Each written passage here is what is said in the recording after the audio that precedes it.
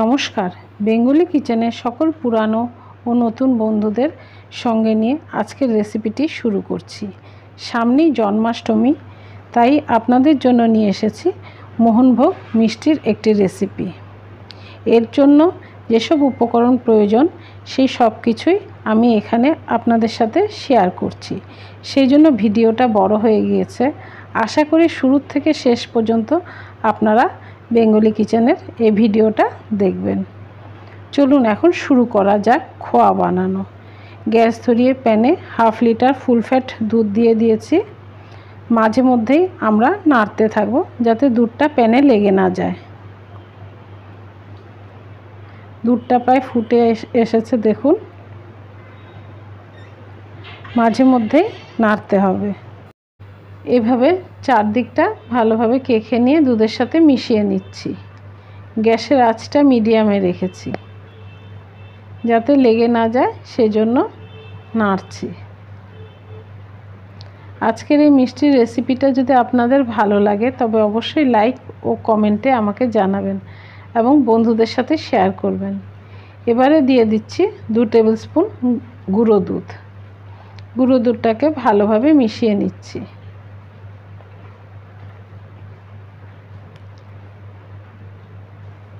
অনেক সময় পিঠে বানানোর জন্য বা মিষ্টি বানানোর জন্য আমাদের খোয়ার প্রয়োজন পড়ে। সেই জন্য চটজলদি যাতে খোয়া আমরা বানিয়ে নিতে পারি, তাই এটাও শেয়ার করলাম আপনাদের সাথে। আজকের এই মিষ্টিটা আমরা তিনটি পর্যায়ে করব। প্রথমে খোয়া বানাবো, তারপরে মিষ্টিটা করব, তারপরে রাবড়িটা করব। শেষ পর্যন্ত ভিডিওটা দেখবেন, সে আশা রাখি। দেখুন, দুধটা অনেকটা ঘন হয়ে এসেছে। আর আমার চ্যানেলের যদি নতুন বন্ধু হয়ে থাকেন, তবে অবশ্যই আমার চ্যানেলটা সাবস্ক্রাইব করবেন। দিয়ে দিলাম এক চিমটি বেকিং পাউডার। বেকিং পাউডারটা দিলে কয়েকদিন আমরা অনায়াসে ফ্রিজে স্টোর করে রাখতে পারি খোয়াটা।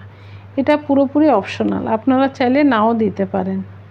এবার গ্যাসের আঁচটা কমিয়ে দিয়ে দিচ্ছি চিনি চিনি দিব দু টেবিল স্পুন দুধটা ঘন হয়ে খোয়া হওয়ার পরে যেহেতু কমে যাবে সেই জন্য আমরা দু টেবিল স্পুন চিনি দিলাম। এবার গ্যাসের আঁচটা মিডিয়ামে করে দুধটাকে আরও ঘন করে নিচ্ছি। আমার চ্যানেলটা সাবস্ক্রাইব করার সাথে সাথে পাশে থাকা বেল আইকনে ক্লিক করবেন। আমার রেসিপিগুলো নিত্য নতুন আপডেট পাওয়ার জন্য। দেখুন, দুধটা কতটা ঘন হয়ে এসেছে।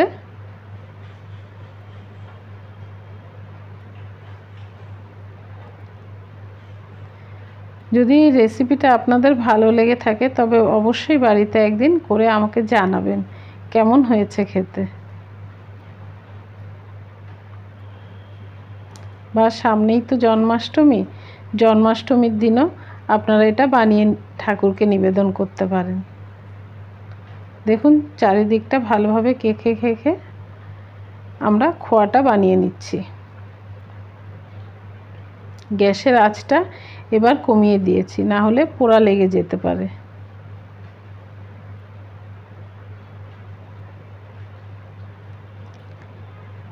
এইভাবে ভালোভাবে সম্পূর্ণ দুধটাকে আমরা ঘন করে নিচ্ছি।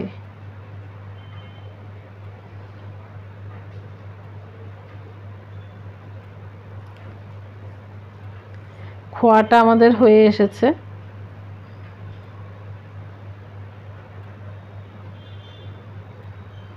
দেখুন শুকিয়ে কতটুকু হয়ে গিয়েছে। এবারে আমরা করছি ছানা তৈরি। ছানা তৈরির জন্য গ্যাস ধরিয়ে সসপ্যানে নিয়ে নিচ্ছি এক লিটার ফুল ফ্যাট দুধ। দুধটাকে জাল দিয়ে নেব প্রথমে। গ্যাসের আঁচটা বাড়িয়েই দিয়েছি।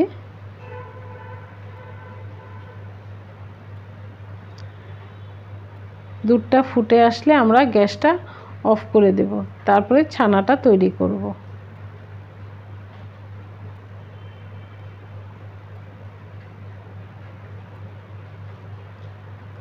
দুধটা ফুটে এসেছে, দেখুন।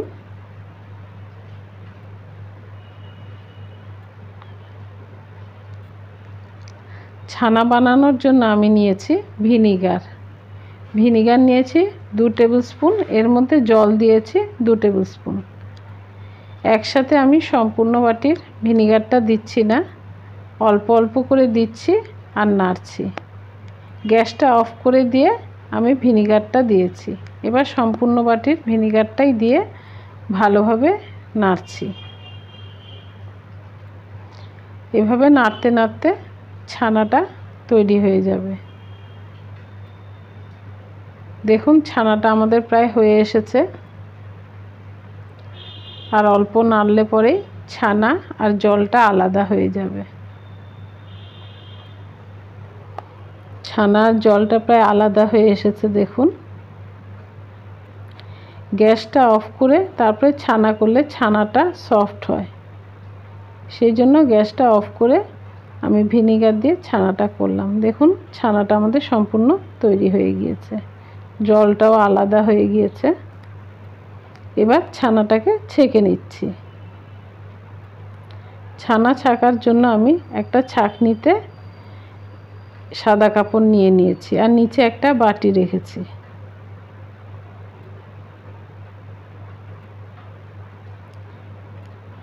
এবার ভালোভাবে ছেঁকে নেব। ছেঁকে তারপরে ফ্রেশ জলে ছানাটা ধুয়ে নেব। না হলে ভিনিগারের গন্ধ হতে পারে।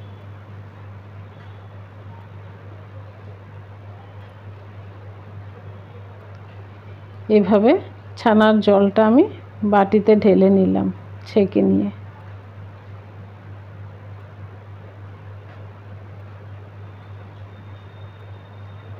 একটু চিপে নিচ্ছি। জলটা ফেলে দিয়েছি, এবার ছানাটা ফ্রেশ হলে ভালোভাবে ধুয়ে নিচ্ছি, যাতে ভিনিগারের গন্ধটা সম্পূর্ণ চলে যায়। দেখুন, ভালোভাবে আমি ছানাটা ধুয়ে নিচ্ছি। ছানাটা ধুয়ে ভালো করে চিপে একটা কিছু, কোনো জায়গায় কিছুক্ষণ বেঁধে রাখব, যাতে জলটা সম্পূর্ণ পড়ে যায়।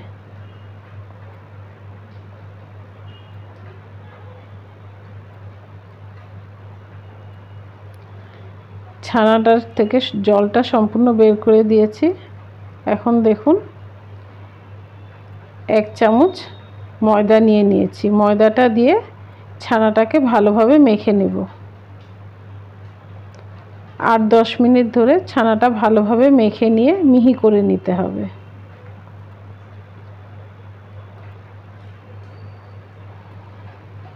ছানাটা মিহি করে নিলে পরে মিষ্টি বানানোর সময় ছানাগুলো ভেঙে ভেঙে যাবে না। ভালোভাবে এভাবে ছানাটা মেখে নিতে হবে। দেখুন, এভাবে চাপ দিয়ে দিয়ে আমি ছানাটাকে মেখে নিচ্ছি। সাত আট মিনিট ধরে মাখছি আমি। ময়দা অল্প দিয়ে দিয়ে মেখে নিচ্ছি।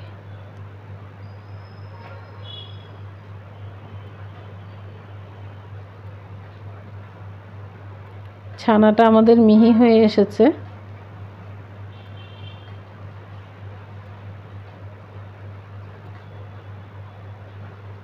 এভাবে চাপ দিয়ে দিয়ে ভালোভাবে মেখে নিচ্ছি। দেখুন, ছানাটা কতটা মিহি হয়ে গিয়েছে।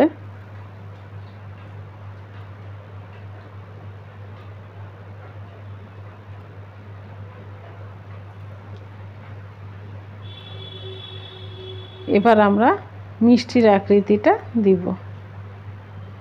এভাবে প্রথমে গোল করে নিচ্ছি। রসগোল্লা বানানোর সময় যেরকম গোল করি আমরা, সেভাবে গোল করে নিচ্ছি। এবার মাঝখান দিয়ে আঙুলের সাহায্যে একটু এই শেপ দিয়ে নিচ্ছি। দেখাচ্ছি, এটাও আপনাদের গোল করে নিই। প্রথমে রসগোল্লা করার মতো।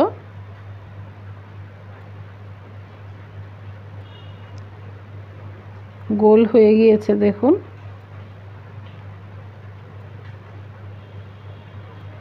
এবার আঙুলের সাহায্যে এভাবে একটু মাঝখানে টিপে দিলাম।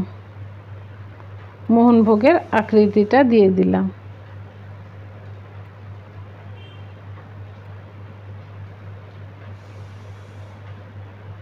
এভাবে ভালোভাবে গোল করে নিতে হবে আগে।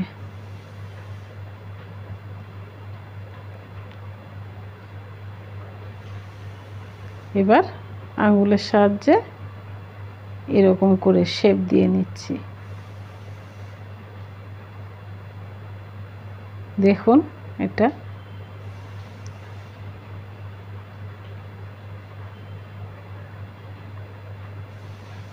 এভাবে সবগুলো ছানাকেই আমরা গোল করে মোহনভোগের আকৃতিতে করে নেব।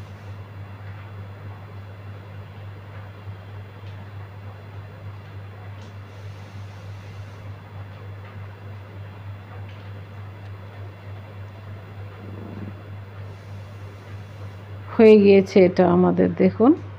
এভাবে সবগুলো করে আপনাদের দেখাচ্ছি। এই যে দেখুন, সবগুলো আমাদের করা হয়ে গিয়েছে ছানা, মোহনভোগের আকৃতির। প্রথমে রসগোল্লার মতো করে নিয়েছিলাম, তারপরে ওই রকম করলাম, মোহনভোগের আকৃতির। এবারে গ্যাস ধরিয়ে কড়াইতে চিনি দিয়ে দিয়ে দিচ্ছি জল। চিনি দিয়েছি এক বাটি আর জল দিয়েছি ওই বাটিরই তিন বাটি। চিনিটাকে ভালোভাবে গলিয়ে নিতে হবে। ফুটে গিয়েছে আমাদের জলটা দেখুন। গ্যাসের আঁচটা বাড়ানোই আছে। চিনিটা তো গলে গিয়েছে। এবার মিষ্টিগুলো দিয়ে দিচ্ছি। মানে ছানাগুলো দিয়ে দিচ্ছি মিষ্টি করার জন্য।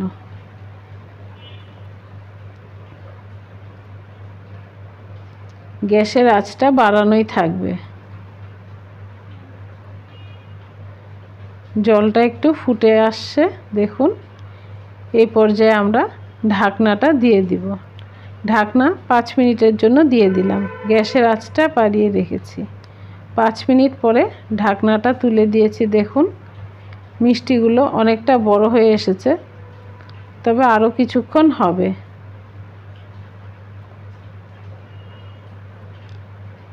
কুড়ি মিনিট ধরে আমি এই ছানাগুলোকে ফুটাবো।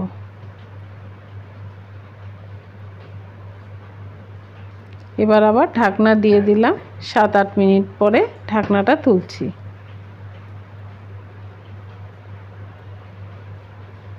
দেখুন কতটা বড় হয়ে গিয়েছে।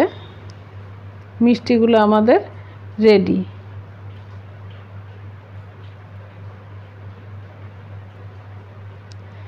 আমার কুড়ি মিনিট সময় লেগেছে মিষ্টিগুলো তৈরি করার জন্য।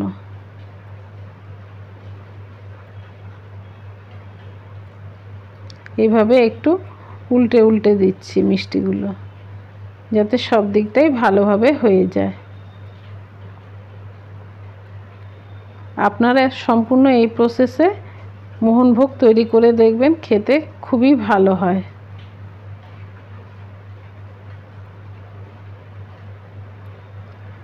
আর পাঁচ মিনিট পরে গ্যাসটা অফ করে দিলাম। এবার তৈরি করব রাবড়ি। গ্যাস ধরিয়ে প্যানে হাফ লিটার ফুল ফ্যাট দুধ দিয়ে দিচ্ছি। মিষ্টিটা আমরা ঠান্ডা হতে দিয়ে দিয়েছি। ততক্ষণে রাবড়িটা তৈরি করে নিচ্ছি।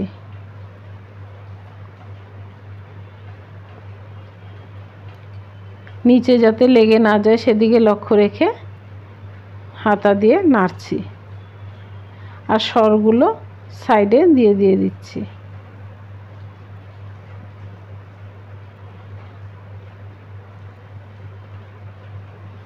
এইভাবে নাড়তে নাড়তে আমরা রাবড়িটাও তৈরি করে নিচ্ছি।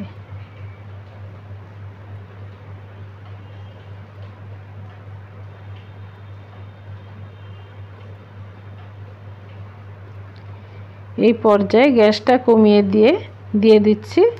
কন্ডেন্স মিল্ক আপনারা চাইলে কন্ডেন্স মিল্কের বদলে চিনিও ব্যবহার করতে পারেন। আমি যেহেতু এখানে কন্ডেন্স মিল্ক দিচ্ছি রাবড়িটাতে, সেজন্য আর চিনির ব্যবহার করব না। তিন চামচ কন্ডেন্স মিল্ক দিলাম।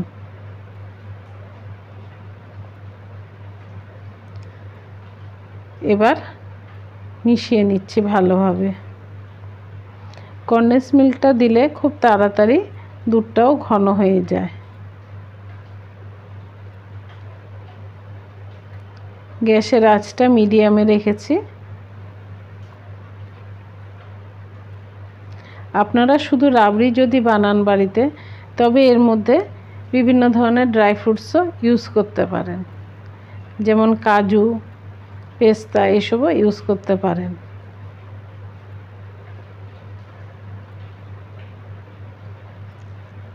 দুধটা দেখুন ঘন হয়ে এসেছে। আমরা একটু হালকা অবস্থাতেই দুধটাকে নামিয়ে নেব, কারণ রাবড়িটা ঠান্ডা হওয়ার পরে ঘন হয়ে যায়। এই পর্যায়ে গ্যাসটা আমরা অফ করে দিলাম। রাবড়িটাও আমাদের ঠান্ডা হয়ে গিয়েছে, মিষ্টিটাও ঠান্ডা হয়ে গিয়েছে। দেখুন কতটা সফট হয়েছে মিষ্টিটা। এবার আমরা মোহনভোগটা তৈরি করে নিচ্ছি। মিষ্টির সমস্ত রস বের করে ফেলছি। দেখুন যত রস ছিল বের করে ফেলছি। এবার উষ্ণ দুধে, উষ্ণ গরম দুধ। সম্পূর্ণ গরম নেই, উষ্ণ গরম দুধে ভালোভাবে ডুবিয়ে নিয়ে চিপে নিচ্ছি। এবার রাবড়িতে ভিজিয়ে নেব। দেখুন রাবড়িটা কতটা ঘন হয়ে এসেছে। মিষ্টিটাকে রাবড়িতে ভালোভাবে ডুবিয়ে নিচ্ছি। এবার যে খোয়াটা আমরা তৈরি করেছিলাম, সেটা গ্রেট করে রেখেছি, দেখুন। সেটাতে ভালোভাবে লাগিয়ে নিচ্ছি। এভাবে ভালোভাবে লাগিয়ে একটু চেপে চেপে দিতে হবে, যাতে রাবড়িটা লেগে, যাতে রাবড়িতে লেগে থাকে খোয়াটা। খোয়াটা দেখুন কি সুন্দর হয়েছে আমাদের।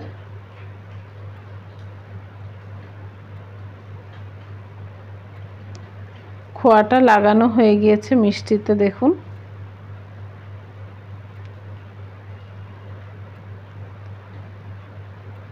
এবারে কিছু পেস্তা কুচি করে রেখেছি। সেটা মাঝখানে দিয়ে দিচ্ছি। একইভাবে এই মিষ্টিটাও ভালোভাবে রসটা বের করে নিচ্ছি।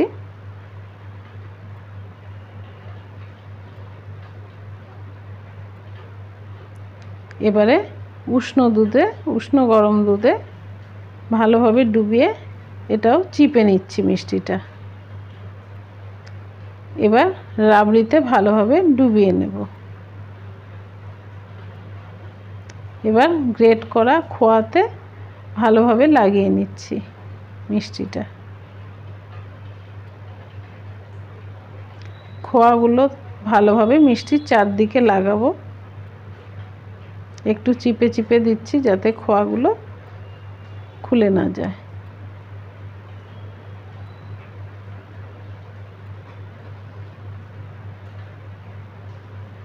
দেখুন পেছন দিকটাতেও খোয়াটা ভালোভাবে লাগিয়ে নিচ্ছি।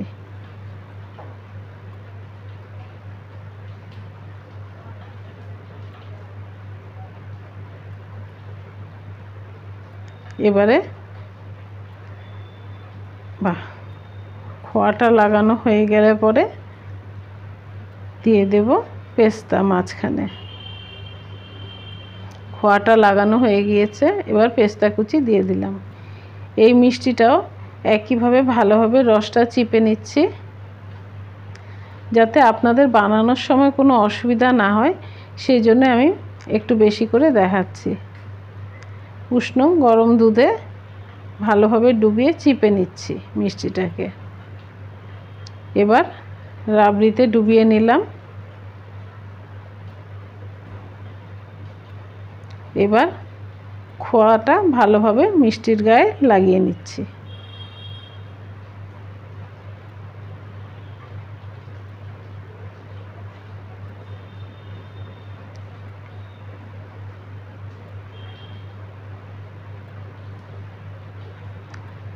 খোয়াটা মিষ্টির মাঝখানটাতে লাগাবো না শুধু, যেহেতু আমরা পেস্তা দেব। আপনারা পেস্তার জায়গায় অন্য কোনো ফলও দিতে পারেন।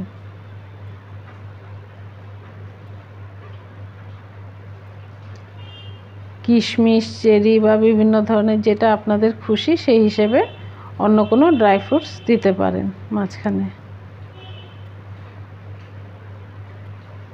এবারে মাঝখানে অল্প পেস্তা দিয়ে দিলাম। দেখুন, তিনটে রেডি হয়ে গেল। এভাবে সবগুলো তৈরি করে আপনাদের দেখাচ্ছি। দেখুন, তৈরি হয়ে গেল আমাদের মোহনভোগ মিষ্টি। কেমন হয়েছে কমেন্টে অবশ্যই জানাবেন আমাকে।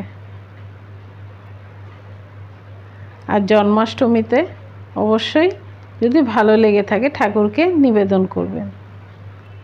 আর আমার চ্যানেলকে সাবস্ক্রাইব করে আমার পাশে থাকবেন